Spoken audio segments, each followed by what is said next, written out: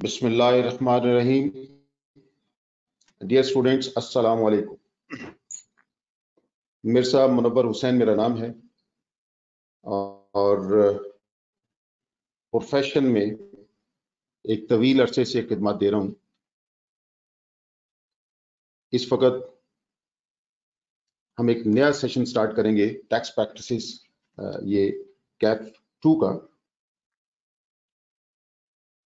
मेरा ब्रीफ सा इंट्रोडक्शन ये है कि मैं आईसीएमएपी आईसीएसपी पिफा इनका फेलो मेंबर हूँ।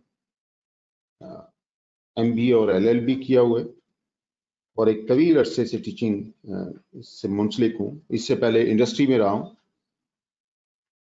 तो टैक्स बहुत ही अहम सब्जेक्ट इस सब्जेक्ट को समझने के लिए जिस चीज़ की ज़रूरत है वो सिर्फ़ कंसिस्टेंसी थोड़ी सी तवज्जो और बाकायदगी के साथ अगर आप इसको देखेंगे तो ये बड़ी आसानी से ये सब्जेक्ट समझ आ जाएगा। और अगर इसको बेतवज्जो से करेंगे तो फिर इसके लिए बहुत सारे मसाइल आएँगे। तो इस सब्जेक्ट में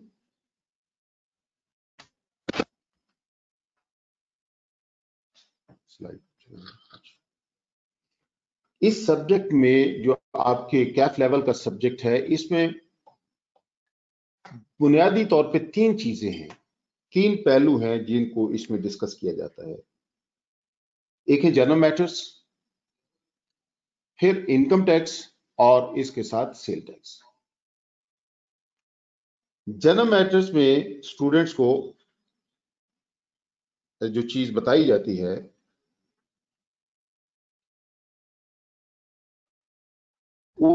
उसमें कॉन्स्टिट्यूशनल प्रोविजंस हैं, उसमें कोड ऑफ़ एथिक्स हैं,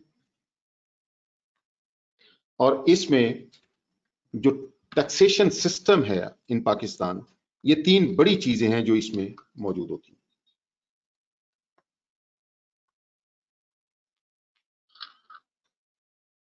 सो कॉन्स्टिट्यूशनल प्रोविजंस में जो चीज़ देखी जाती है, वो ये है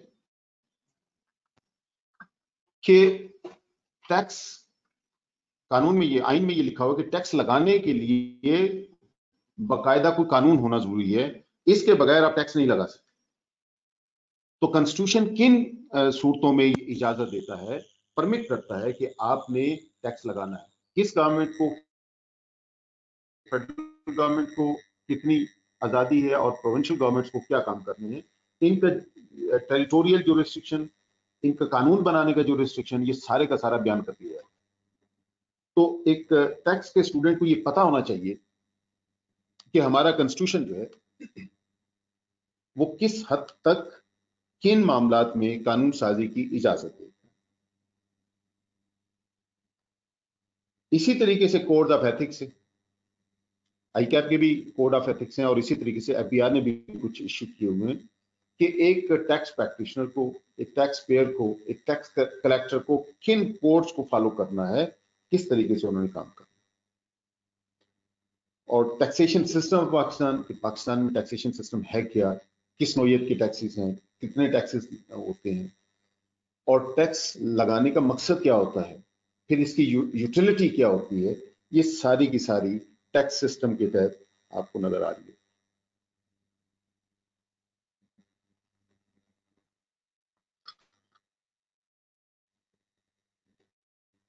अब जब सेकंड कंपोनेंट हम देखते हैं दैट इज़ इनकम टैक्स सारे का सारा इनकम टैक्स आपके सिलेबस में नहीं है सिलेक्टेड पार्ट्स हैं जो आपके सिलेबस में है, लेकिन वो इतने काफ़ी हैं, जिसे आप समझ सकते हैं कि टैक्स होता क्या है, लगना कैसे है, किन लोगों पे लगना है। तो इसके लिए जो चीज़ें आपके सिलेबस में है, उसमें सबसे पहली चीज़ तो है basic concept of income tax कि इनकम टैक्स मिसाल के तौर पे टैक्स होता क्या है? गवर्नमेंट किसी कानून के तहत जब कुछ पैसे कलेक्ट करने का राइट ले लेती है तो वो जो पैसे कलेक्ट किए जाते हैं डेट इज़ टैक्स अब जब भी टैक्स लगाना है, किसी कानून के लिए फिर टैक्स लगना किन पे? किस चीज़ पे लगना? है these are very very basic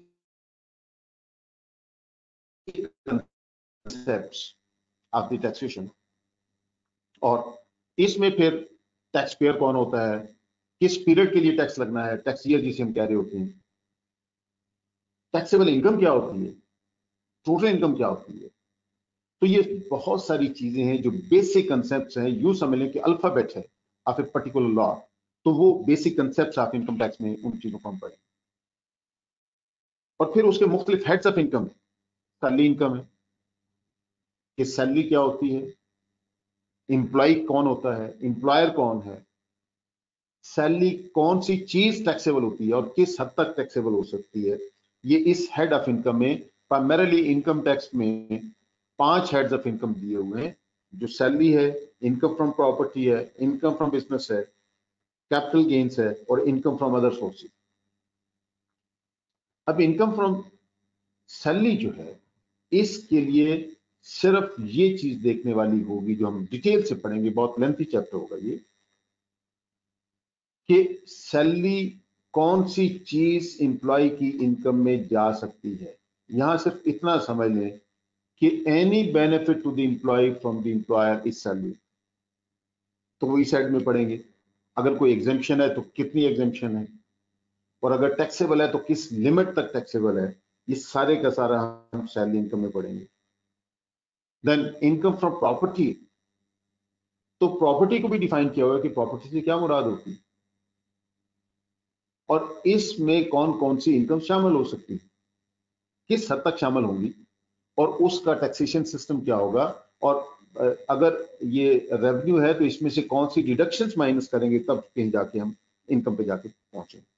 income from business और इनकम फ्रॉम बिज़नेस के हेड के तहत तमाम ऐसी एक्टिविटीज़ आ जाएँगी, जो which are undertaken with the motive to earn profit तो any activity with the motive to earn profit that is income from business और फिर इसमें आप जाके आगे देखेंगे कि इनकम फ्रॉम बिज़नेस में दो किस्म के बिजनेसेस आ जाते हैं स्पेकुलेशन बिज़नेस और नॉन स्पेकुलेशन बिज़नेस तो उनकी डिटेल्स हम देखेंगे कि स्पेकुलेशन बिज़नेस क्या होता है और नॉन स्पेकुलेशन बिज़नेस क्या होता है। और इनकम कौन कौन सी इनकम्स इन इस हेड में आ सकती हैं और फिर उनमें डिडक्शंस कौन सी हो सकती हैं।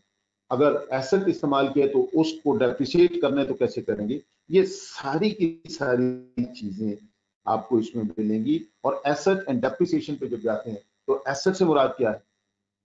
और फिर इसमें उसकी कॉस्ट ऑफ़ एक्विजिशन हम कैसे डिटरमिन करेंगे? अगर आपने कॉस्ट डिटरमिन कर ली तो उसकी डेप्रिसिएशन किस मेथड पे और किस हद तक होगी?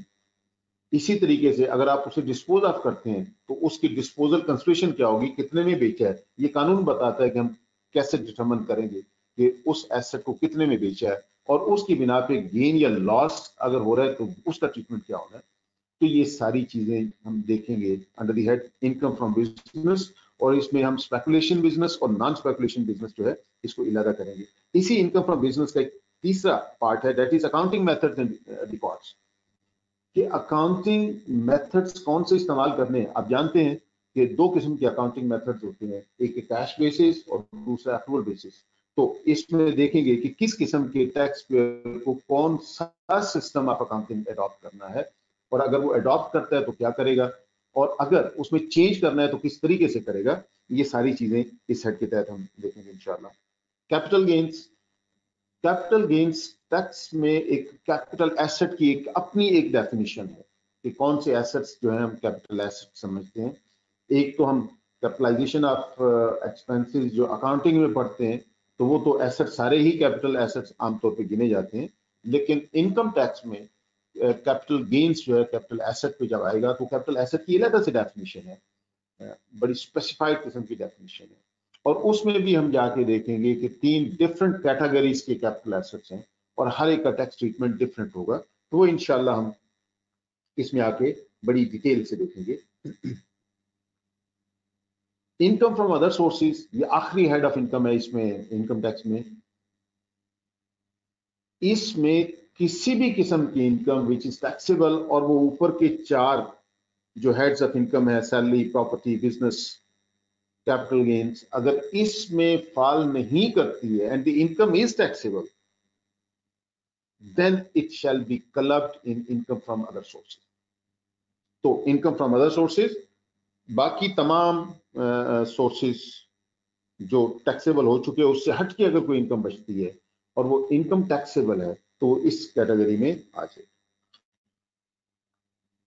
फिर एक सेपरेट ब्लॉक ऑफ़ इनकम्स भी है, जिसे हम डिविडेंड्स प्रॉफिट ऑन डेट वगैरह कहते हैं। इसके लिए हम इलादा से इंशाल्लाह देखेंगे कि इसमें कौन सी चीज़ें आती हैं, किस कंडीशंस के साथ आती हैं और उसकी टैक्सेशन कैसे करेंगे फिर कानून ने बाज लोगों पे मिनिमम टैक्स कर दिया कि कम अज कम इतना टैक्स तो उन्होंने पे करना ही है। इनकम हो या ना हो इनकम कम हो या ज़्यादा हो। कम अज कम एक certain amount of tax they will have to pay तो ये एक इलादा से टॉपिक है मिनिमम टैक्स ये भी हमारे सिलेबस का हिस्सा है, इसको भी हम देखेंगे। और फिर अगर मुख्तलिफ़ हेड्स हैं, उसमें रेवेन्यू माइनस डिडक्शन करके तो इनकम आती है। और अगर डिडक्शन ज़्यादा हो जाए तो लॉसेज होते हैं। तो लॉसेज जो है, उनको सेटअप कर सकते हैं या नहीं कर सकते, किन लॉसेज को सेटअप कर सकते हैं, किन को नहीं कर सकते सेटअप कर सकते हैं तो कितना कर सकते हैं, किन रूल्स रेगुलेशंस के साथ या किन कंडीशंस के साथ कर सकते हैं, और फिर क्या अगर किसी एक साल नुकसान एडजस्ट ना हो सका हो तो अगले सालों पे जब लेके जाएँगे, जिसे कैरी फॉरवर्ड ऑफ़ लॉसेज कहते हैं तो वो क्या करेंगे और कौन से लॉसेज को हम कैरी फॉरवर्ड कर सकते हैं, कौन से को नहीं कर सकते, और किस इनकम के अगेंस्ट इसको एडजस्ट कर सकते हैं, ये एक वसी टॉपिक है इंटरेस्टिंग टॉपिक भी है इनशाला इसमें हम देखेंगे। Uh, of losses को। फिर टैक्स क्रेडिट्स अगर टैक्स में कुछ छूट हो सकती है किसी चीज़ की बिना पे मिसाल के तौर पे आपने किसी चैरिटेबल इंस्टीट्यूशन को डोनेशन दी है तो आपकी टैक्स में कुछ छूट हो सकती है। इसी तरीके से और मुख्तलिफ़ चीज़ें हैं जिसमें टैक्स की छूट मुमकिन है। तो कौन कौन से ऐसे एलिमेंट्स हैं जो आपके लिए टैक्स क्रेडिट का बास बनते हैं और आप उसमें टैक्स की छूट है ये एक पूरा टॉपिक है। इसमें हम देखेंगे कि किन लोगों को हो सकता है। और आपके सिलेबस में टैक्सेशन सिर्फ़ दो लोगों की है इंडिविजुअल्स की और association of person individual and association of person companies की टैक्सेशन आपके सिलेबस में नहीं है तो ये जितनी भी हम प्रोविजंस पढ़ेंगे, वो सारी की सारी हम इंडिविजुअल्स और एसोसिएशन ऑफ़ पर्सन के हवाले से पढ़ेंगे और फिर हम ये भी देखेंगे कि इंडिविजुअल की टैक्सेशन कैसे करनी है और एसोसिएशन ऑफ़ पर्सन की कैसे करनी है, उनके प्रॉफिट्स अगर हैं तो उसको कैसे तकसीम करना है, उस पर टैक्स लगने के बाद क्या सूरत बनेगी तो ये डिटेल्स है इनशाला हम देखेंगे और असेसमेंट असेसमेंट जो है basically assessment is the process through which tax liability of a person is determine तो assessment procedure starts with filing of the income tax return ये आपने बड़ा कॉमन सुना होगा जी, गोशवारा या आमदन जमा करवाना होता है। तो यहाँ से काम ये स्टार्ट होता है। और फिर किन लोगों ने ये रिटर्न ऑफ़ इनकम फ़ाइल करनी है? किस तरीके से फ़ाइल करनी है? किस तारीख तक फ़ाइल करनी है? टैक्स पे करना है तो कब पे करना है और कैसे पे करना है और किस हद तक पे करना है। किन सूरतों में ये जो उसने रिटर्न फ़ाइल की थी, हम समझ लेंगे कि ये फाइनल है। असेसमेंट ऑर्डर असेसमेंट ऑर्डर ये बेसिकली टैक्स अथॉरिटीज इशू करती हैं और जिसमें किसी बंदे की टैक्सेबल इनकम और टैक्स लाइबिलिटी का तयन किया जाता है और मौजूदा कानून में बहुत सारी सूरतों में जो रिटर्न उसने फ़ाइल की होती है, अगर वो बिल्कुल ठीक है तो फिर इलादा से असेसमेंट ऑर्डर की ज़रूरत नहीं पड़ती। तो अगर कहीं मॉडिफिकेशन की ज़रूरत पड़ती है, एक दफ़ा असेसमेंट होगी, उसको चेंज करने की ज़रूरत पड़ती है, एक दफ़ा रिटर्न फ़ाइल की और उसको में कोई गलती मिली और उसको तब्दील करने की ज़रूरत पड़ती है तो ये सारी चीज़ें हम असेसमेंट के टाइटल के तहत पढ़ेंगे और बड़ी डिटेल से पढ़ेंगे, इंशाल्लाह। और